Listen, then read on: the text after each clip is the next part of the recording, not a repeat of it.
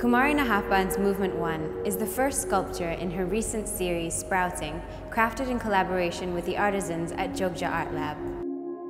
Kumari is one of the most established artists in Southeast Asia, with a career spanning over 20 years and several exhibitions across the globe. She draws deep connection from Hindu spiritual beliefs and rituals, using color and form to evoke powerful philosophical ideas.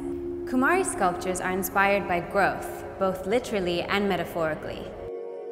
The dark roots of Movement 1 sprawl at the base of the sprout's figure, seeking security in the earth, while the head of the seed winds upwards, yearning for the sun. The idea of growth can be manifested in many ways beyond the physical. Emotional, intellectual, and spiritual growth are embodied in the daring of this sprout. There is a certain degree of trauma that a sprout endures in breaking through the comfort and protection of its shell, much in the way people mature and go through their own journeys of self realization. For this series, Kumari nurtured the actual seedlings herself, observing every stage of the process from seed to sprout. This sculpture marks a turning point in Kumari's artistic career. The vibrant multi-patina of this sculpture creates a gorgeous gradient and brings the whole thing to life.